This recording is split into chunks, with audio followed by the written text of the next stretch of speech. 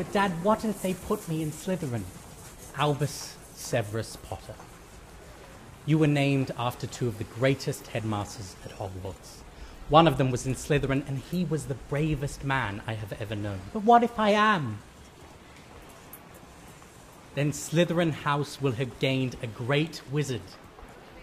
You can choose Gryffindor if you want to. The sorting hat takes your choice into account. Really?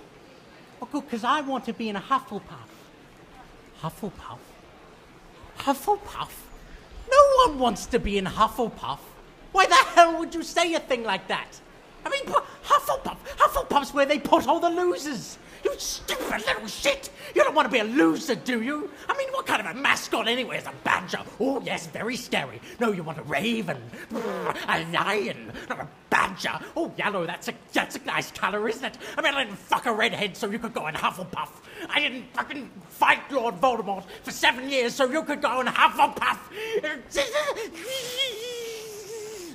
Hufflepuff, what kind of a name is Hufflepuff anyone? Oh, yes, we'll call our house Hip and Stop Who Stiffle Stop. Pippy Poppy Pansy House, that's what it should be called. You stupid.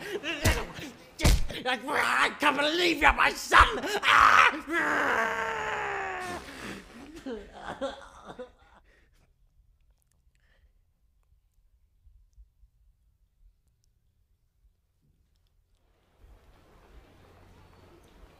But it's your choice, son.